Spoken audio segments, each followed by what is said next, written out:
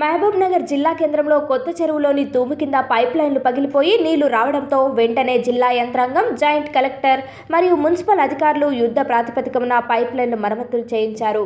Irrigation మరియు చెరువు ఆయకట్ట కార్మికులు సంచులు మొరం వేసి నీటి ప్రవాహాన్ని ఆపడం జరిగింది. ఈ చిన్నదానికే ప్రతిపక్షాలు పెద్ద ప్రమాదం జరిగినట్టు చిత్రీకరించి సోషల్ మీడియాలో హల్చల్ చేయడాన్ని తీవ్రంగా ఖండి గాయి గాయి చేసి ప్రజలను భయాందోళనకు గురి చేసే పనులు చేయవద్దని తెరాస సీనియర్ నాయకులు మున్నూరు రవి హెచ్చరించారు. గండిపడ్డదని చెప్పి ఈరోజు ప్రతిపక్ష పార్టీలు సోషల్ మీడియా ద్వారా అదేవిధంగా వివిధ వాట్సాప్ గ్రూపులలో వీడియోలు పెట్టి ఏదో గగ్గోలు పెట్టి హంగామా చేస్తున్నారు.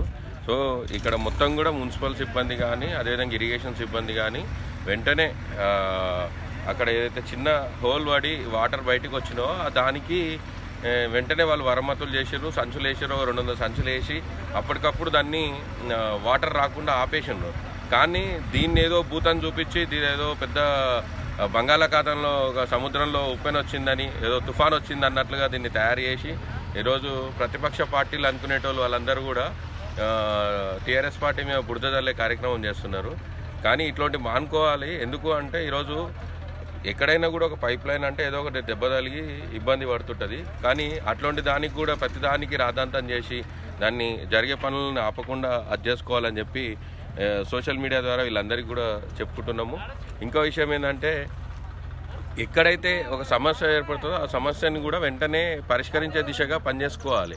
ఆ సమస్య వచ్చింది అంటే వెంటనే అధికారులకు చెప్పాలి దగ్గరలో ఉన్న వాళ్ళు చూసి కానీ ఏదో వచ్చిందని చెప్పి ఇంకా వీడియోలు తీయాలి వీడియోలు తీసి ఇంకా సోషల్ మీడియాలో పెట్టి ఏదో ఇక మేమే ఇంకా పెద్ద ఏమంటారు ఆస్కార్ అవార్డు కొట్టాలనేట్లుగా ప్రయత్నం చేయడం మాత్రం మంచిది కాదు. ఈ ఎవరైతే సోషల్ మీడియాలో పెట్టి హంగామాలు చేస్తున్నారో వాళ్ళు కొద్దిగా ఆలోచించి పెడితే కూడా బాగుంటుంది. ఎందుకంటే ఇప్పుడు వాటర్ అనేది బంద్ అయిపోయింది. దీన్ని అనవసరంగా పెట్టి పబ్లిక్ని డైవర్షన్లో చేసి పబ్లిక్ని భయం ప్రాంతంలో చేసే